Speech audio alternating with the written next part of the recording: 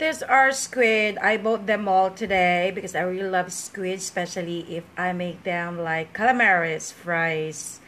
Calamaris Fritos here. I'm going to uh, cook this. These are actually uh, squids. And I'm going to uh, saute with some uh, red wine and some other spices. And of course, kung ano pa yung pwede kong ilagay dito. Alright.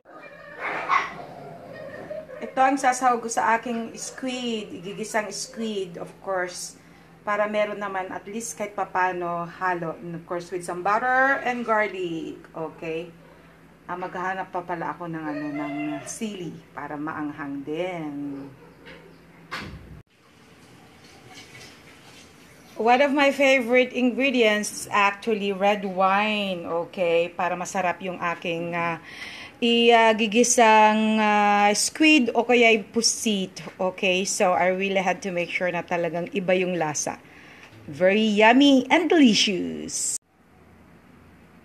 Ito yun na yung isasahog ko along with other spices para maigisa para at least masarap yung lasa niya later on. Pag naihalo na yung aking squid. Yes.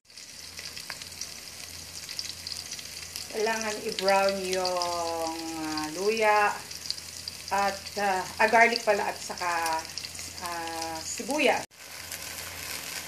So right now it's cooking. So for sure after a few minutes it'll be ready. Okay. Masarap po. Oh. Yan ang favorite ko. May nilagay akong red wine. Yan. It, it gives a, a better taste actually. Alright. Here's my squid right now. And of course with uh, with red wine and other ingredients and other some spices okay so right now it really looks great and yummy all right this is my uh, uh, green mango with my squid sauce okay na may uh, red wine a while ago so nilagyan ko ng sauce no ng sarap mas masarap pa sa bagoong. Yes, yes.